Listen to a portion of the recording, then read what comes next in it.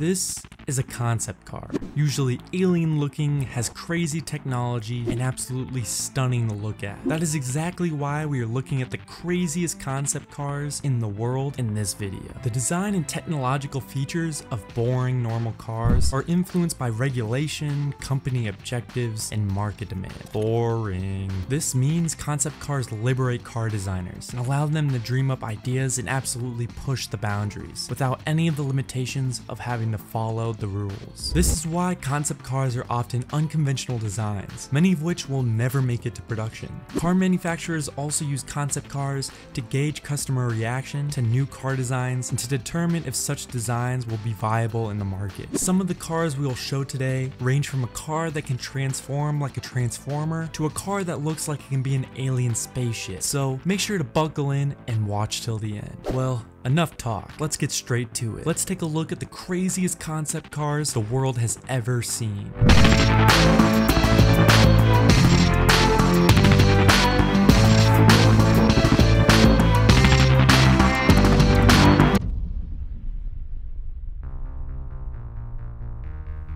This is the 2016 Faraday Future FF01. This car is absolutely crazy. It comes with a helmet that you can wear that feeds oxygen and water from the push of a button. This is meant for racers who have to do long 24 hour races. It even has a slot for your phone in the center of the steering wheel. That way you can watch MoneyVibez videos while you drive. In the front of the car, there are these huge openings that go all the way back to the back of the car. Not only meant for aerodynamics, but also to cool down the car's battery. Did I mention this car's electric? This fin at the back actually lights up, so you can put whatever you want on it, whether it's your name, your team's name, absolutely whatever you want. This car is meant for racing, so it has an astonishing 1000 horsepower.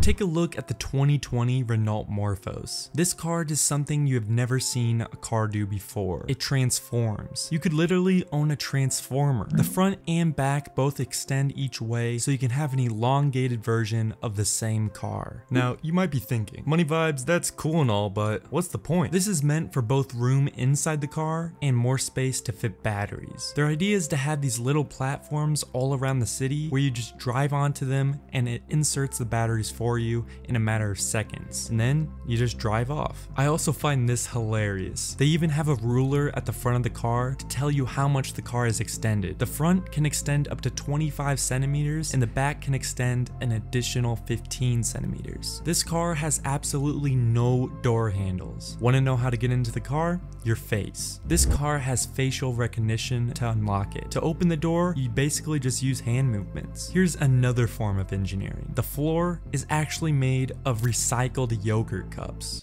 Hmm. Is this organic? Also, remember the whole transformer thing? Well, the inside does that too. With the chairs, you can now face the backseat passengers. Now, this is the coolest part in my opinion. Once you place your phone on the armrest, the wood almost kind of sucks your phone into the car. Once it recognizes your phone, the dashboard starts to activate. The car actually connects to your phone and its calendar, so it knows exactly what you're doing that day and where you're heading. Kind of creepy, but really cool. The steering wheel is almost this Star Trek technology and you actually control everything from the steering wheel as you have nothing else in the center other than your phone. This is the meanest French supercar you will ever lay your eyes on. The 2008 Citroen GT and boy is it loud.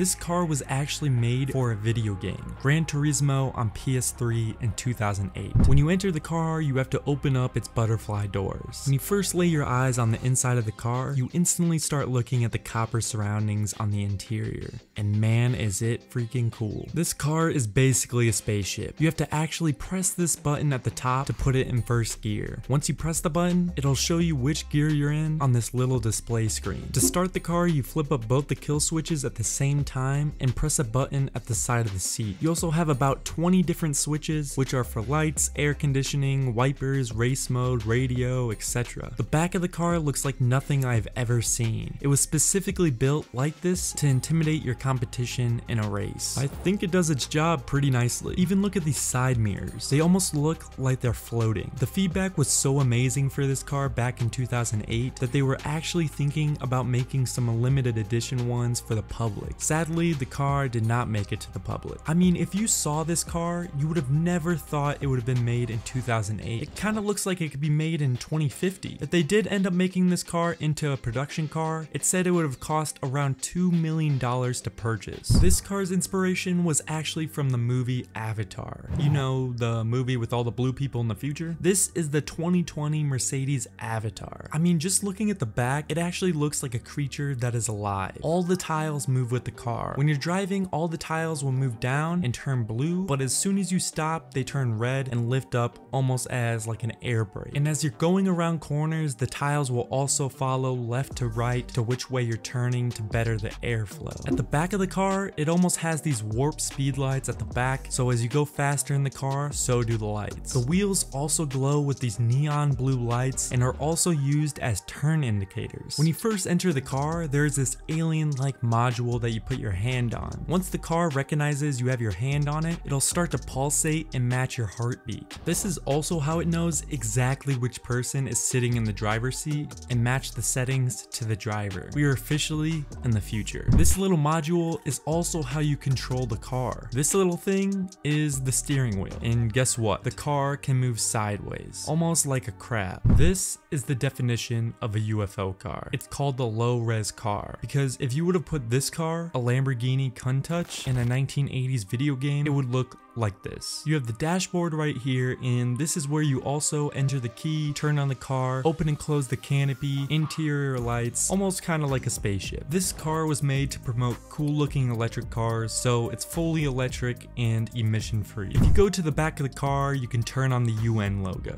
which I think looks pretty cool. The UN stands for United Nude which is a pretty weird name but they make cool cars so I guess I'm cool with it. Once you're inside you have a 360 degree glass glass view everywhere you look, which looks absolutely amazing when you're driving, but I think it looks even cooler from the outside. Which concept car was your favorite? Make sure to let me know in the comments below. Also, if you want to see one of the most expensive car collections, which cost over $3 billion, make sure to check out this video, and I'll see you guys next time.